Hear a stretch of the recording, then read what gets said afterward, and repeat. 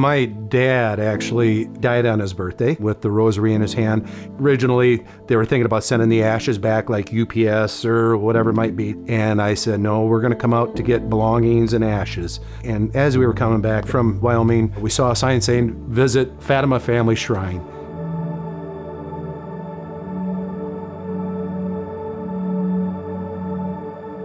The story of Fatima is when Mary appeared to three little children in Fatima, Portugal. What Mary's wish was is to pray the rosary, love one another, and bring peace to the world.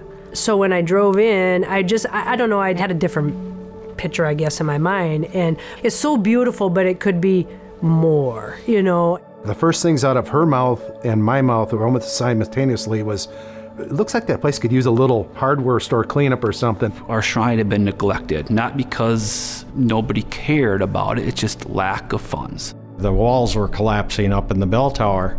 The basement flooded, so we had to tear the walls, gut all the walls out, tear the carpet out, and so it's been a big deal for our little church.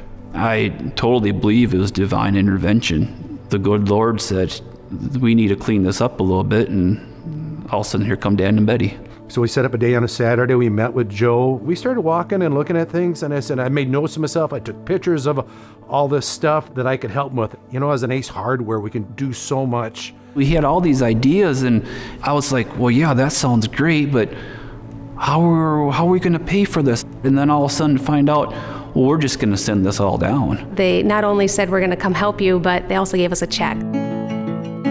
So Alexandria is exactly six hours and three minutes from our store here. Every time we needed stuff, I had, we jumped in the truck, drove it down to them, said, here you go, what else do you need?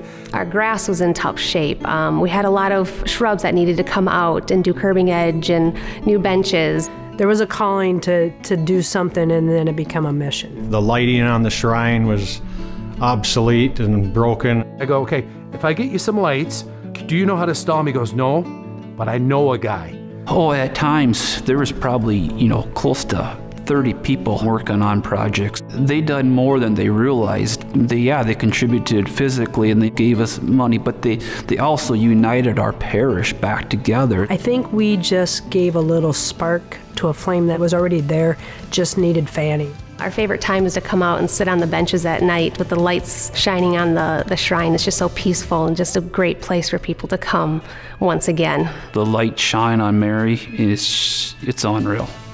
I've received so much more from them than I will ever be able to give. Just, it's a beautiful parish.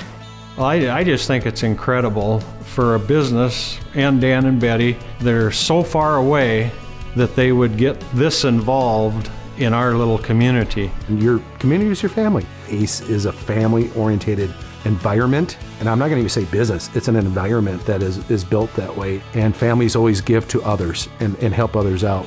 They said they're going to adopt the shrine, and I believe they did that for us. My sister told me on the nth hour of his life that my dad was very proud of me as a son. And I think that this would just probably add to it.